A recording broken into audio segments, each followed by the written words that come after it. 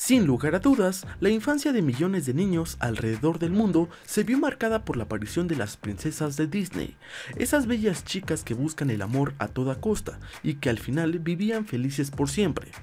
Estos diseños fueron creados por Lauren Brandt, una ilustradora que retomó los rasgos básicos de las princesas y simplemente las avejentó, para saber cómo lucían años después. A continuación conocerás cómo lucen. Vamos con video.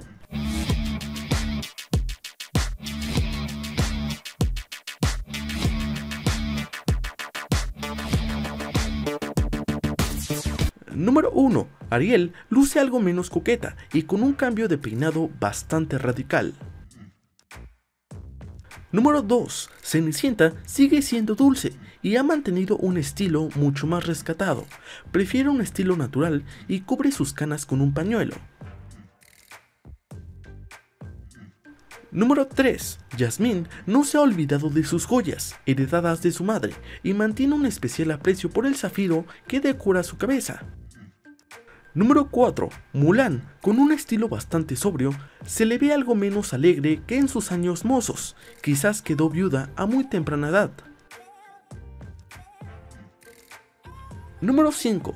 Bella sigue siendo bella, pero hoy es más conservadora y rescatada. Mantiene un gusto por la lectura y lleva una vida plácida junto a la bestia.